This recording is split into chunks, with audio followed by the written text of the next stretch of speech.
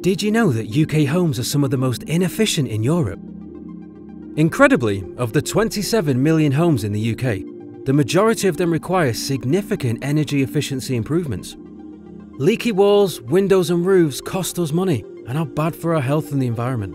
Retrofitting simply means installing energy efficiency measures, such as insulation, replacing windows and doors, installing efficient heating systems and renewable technologies to improve the energy performance of your home by reducing the amount of heat lost.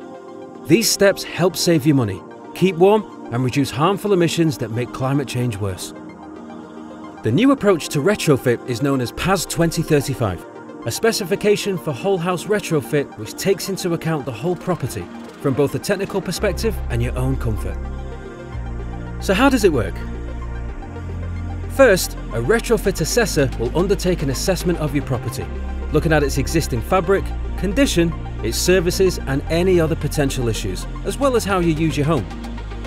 A retrofit coordinator will then produce a plan, outlining the best measures for your home and ensure that the retrofit is properly coordinated, designed and implemented. The PAS 2035 approach will first consider low-hanging fruit such as switching to LED lighting, then a fabric first approach, efficient heating systems and finally, renewable measures such as solar PV and air source heat pumps.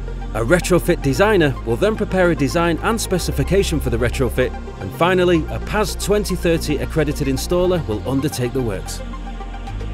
Finally, after everything's been installed, it will be monitored and evaluated to make sure all is working as it should, so that your home is comfortable, healthy, energy efficient, and better for the planet.